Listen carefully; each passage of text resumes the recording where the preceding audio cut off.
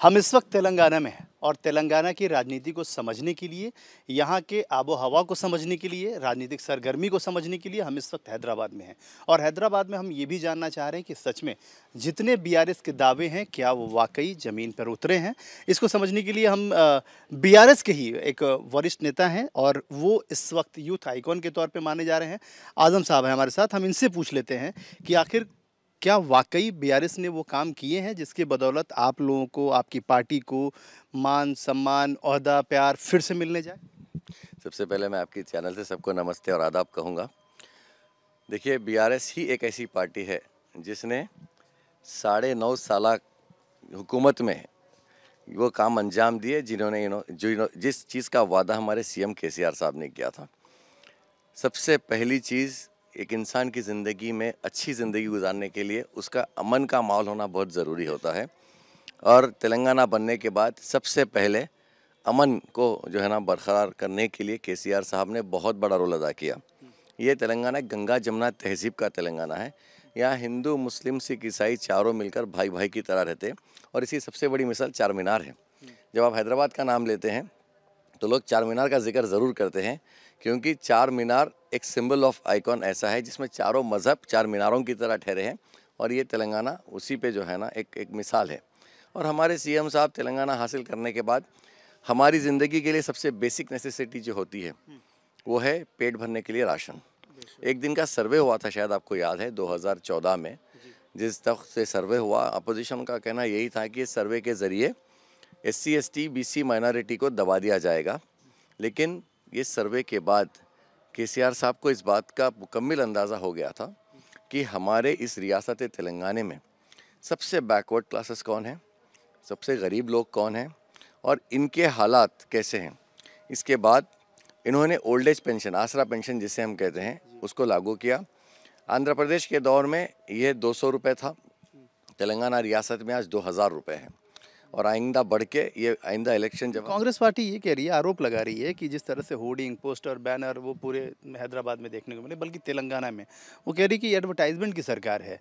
वो सिर्फ़ एडवर्टाइजमेंट में विश्वास करती है एडवर्टाइजमेंट बिलीव करती है और सिर्फ़ वो एडवर्टाइज कर रही है जबकि ज़मीनी स्तर बहुत अलग है बहुत विपरीत है। और लोग अब कहीं ना कहीं से उन पार्टियों का इल्ज़ाम है कि नौ साल में अब बहुत तंग हो गए हैं बहुत परेशान हो गए इस वक्त इस बार बदलाव के लिए वोट करेंगे।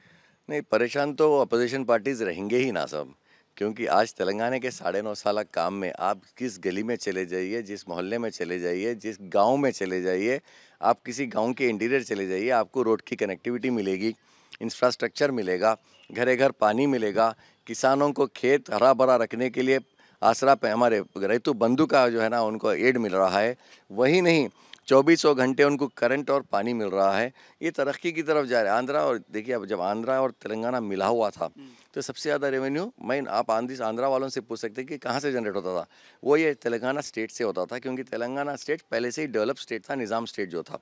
यहाँ पे यूनिवर्सिटीज़ थे, यहाँ पे उस्मानिया हॉस्पिटल उस्मानिया यूनिवर्सिटीज़ यहाँ पे उस्मान सागर, इसी तरीके से गंडीपेट, निज़ाम सागर, कई ऐसे डेवलप्ड ऑलरेडी हमारा तेलंगाना डेवलप्ड ही था।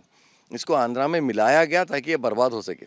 लेकिन जब फिर दोबारा जब इसका वेजिटेशन चला चौदह साल का, आज हम क्यों डेवलप्ड है? आंध्रा पीछे क्यों हैं?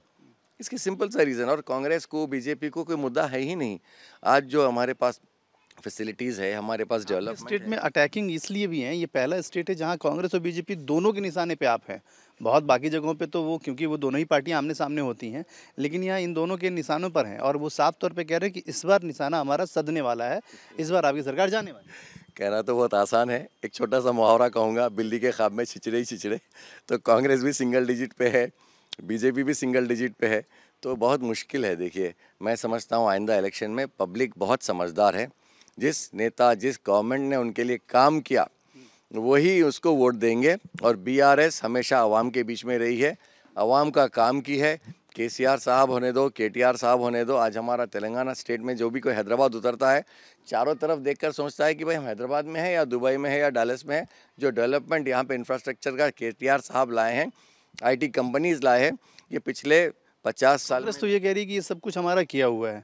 मतलब उन्होंने तो उन्होंने भी कहावत में तौर पे कहा कि माल मिर्ज़ा का है और महबूब होली खेल रहे हैं। वो इस तरीके के तर्ज वो देते हैं और वो तंजिया करते हैं माल मिर्ज़ा का होता तो फिर आज यहीं होते वो गालिब मिर्ज़ा क्यों बन जाते? खैर बहरहाल कहना बहुत आसान है लेकिन जो कुछ भी है आज ये तेलंगाना हुकूमत साढ़े नौ साल का कारनामा है।